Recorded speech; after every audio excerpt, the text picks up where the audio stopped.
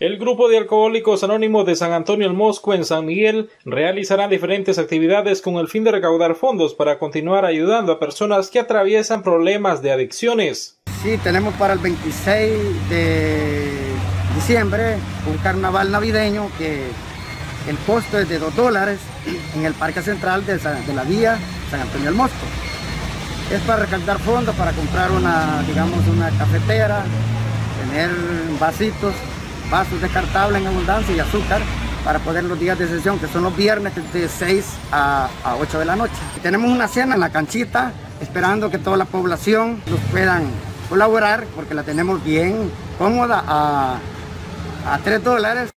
Cabe mencionar que el carnaval navideño que se realizará el 26 de diciembre será parte de un concurso de chanchonas, las cuales pueden inscribirse hasta el 23 al número 7287 7460 y al 7880 4949.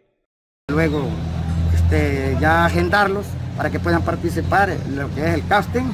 Vendrán unas personas de San Salvador, unos artistas de ya de antaño para que esté en el jurado calificador y luego en enero pues nosotros ya, ya cuando ya se acercan las fiestas patronales pues volver a que las dos chanchonas que queden, porque tenemos ese carnaval y viene esa chanchona internacional de que es de, eh, es de Don Hugo y prácticamente anda por todo Centroamérica.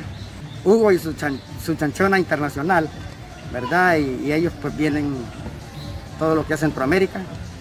Las dos chanchonas ganadoras recibirán como premio una gira por países de Centroamérica.